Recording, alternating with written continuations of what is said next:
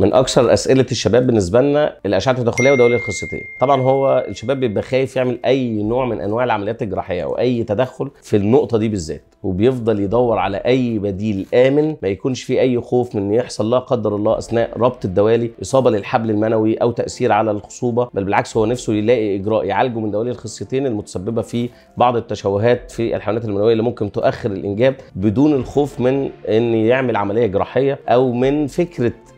التخدير أو الإجراء الجراحي لأن ده بيحمل بعض الخوف لدى بعض الشباب. طبعا الأشعة التداخلية من فتحه لا تتجاوز 1 مللي ممكن تحل المشكلة دي خالص ومفيش أي خوف على الحبل المنوي. هيبقى إن شاء الله في حلقة كاملة بتفاصيل أخرى عن الأشعة التداخلية وعلاج دوالي الخصيتين وأي دلوقتي استفسارات ممكن تحطوها في الكومنتات وهتلاقوا في ال first comment وال bio تفاصيل كتيرة جدا عن دوالي الخصيتين والأشعة التداخلية.